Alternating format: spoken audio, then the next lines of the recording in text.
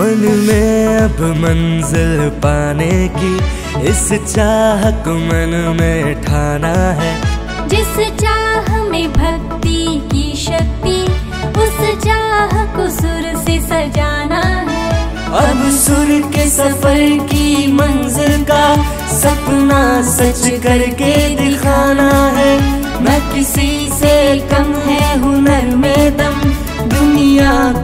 अब ये दिखाना है। सुर ताल से हर सपना सच करके हमको दिखाना है। हमें सुर विद्या में जाना है। गुरु भक्ति में खो जाना